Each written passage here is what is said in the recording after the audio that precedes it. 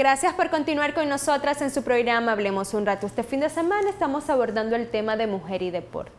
Y es que el deporte no es solo satisfactorio cuando se juega, se compite o se gana dentro del terreno de juego, sino también es importante ya que gracias a esta práctica se mejora nuestra calidad de vida y saber qué tan beneficioso es para las mujeres practicar deportes, veamos lo que nos contestan los especialistas en nuestro siguiente bloque. Las mujeres debemos de hacer deporte porque nos ayuda a mantener nuestros niveles hormonales, a mejorar nuestro sistema inmunológico, nos ayuda también a mantener una salud favorable para nuestros embarazos, manteniendo no solamente este, lo que es una comida saludable, sino también el deporte en sí sirve como un ejercicio diario que ayuda a mantener el peso ideal, mantener este, la circulación adecuada, mantener los niveles de colesterol y triglicérido adecuados, las presiones a su nivel.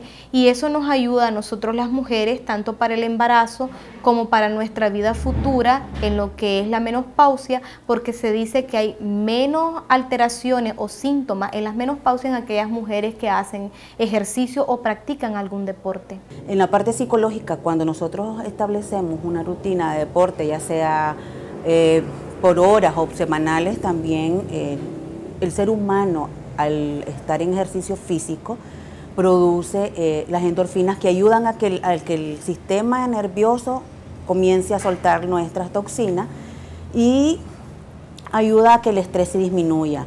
Al nosotros lograr también éxitos a través del deporte, a través de los ejercicios, nosotros mejoramos nuestra autoestima, mejoramos nuestra salud mental y por tanto eh, nuestra situación en general de nuestra mente mejora. Por ejemplo, los niñas a los, en cierta edad que está antes de la adolescencia se recomienda un tipo de ejercicio, en la adolescencia se recomiendan otro, para la mujer adulta otro y para la mujer que está, por ejemplo, en etapa de menopausia es otro tipo de ejercicio y cada uno debe ser vigilado por los profesionales encargados de cada, de cada área. Se estima que de un 9 a un 16% de las muertes en algunos países desarrollados se debe al estilo de vida sedentario.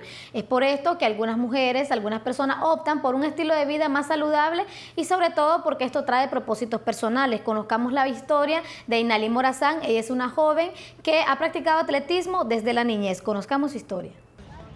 Desde hace nueve años, Inalis Morazán practica atletismo. La joven de 24 años, luego de ser campeona nacional en salto largo, alto y con garrocha, ahora lo es en la prueba de heptatlón.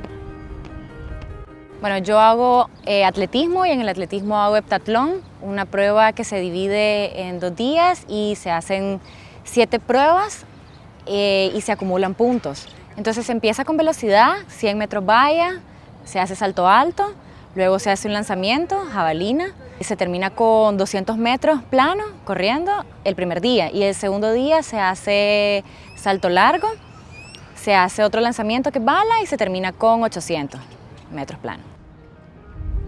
Nos explica cuáles son las actitudes que una deportista debe de desarrollar al momento de practicar una disciplina. Sobre todo la parte psicológica. Nosotros decimos que aquí en la pista no entrenamos solo la parte física, sino la parte mental, porque ya hay momentos donde uno entrena que la parte física está cansado, el cuerpo está cansado, ya no puede más. Se dice que tenemos ácido láctico cuando estamos haciendo tramo, es un dolor intenso que da en las piernas, en las nalgas y el cuerpo ya no puede más. Y ahí es donde entra la parte psicológica, que es la que más entrenamos, eh, donde ya decimos no podemos, no podemos y aún así seguimos entrenando y terminamos el, todo el entrenamiento, todo lo que nos toque ese día satisfactoriamente. Nunca obtiene un resultado si no tiene disciplina. O sea, si yo vengo solo dos veces a la semana a entrenar, yo entreno todos los días, eh, nunca voy a obtener un resultado, mientras que con la disciplina de todos los días, a las 4 de la tarde, puntual, eh, con todos mis implementos, eso me ha llevado a tener los resultados que tengo. Inalí cuenta con algunos obstáculos que ha tenido, pero remarca que aún sigue con pie de lucha dentro de la pista. Principalmente las lesiones.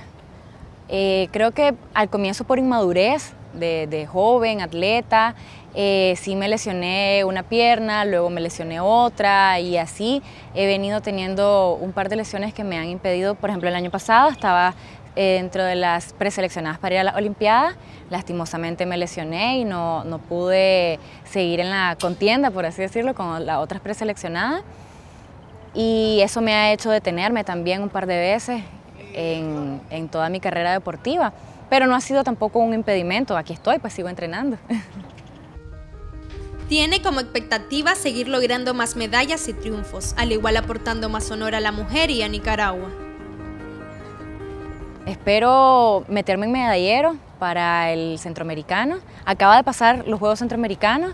Eh, yo quedé en cuarto lugar, hice nuevo récord nacional, pero para el centroamericano que es aquí sí espero meterme en medallero.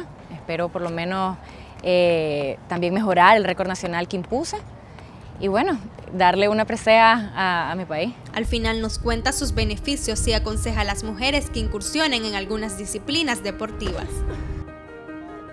El deporte es salud mental y física.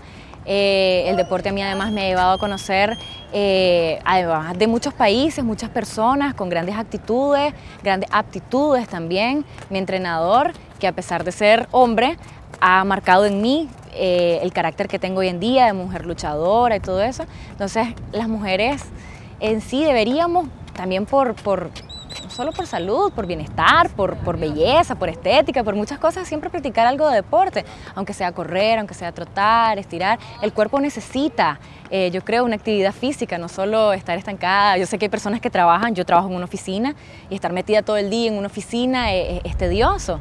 Siempre hay tiempo para todo, pues.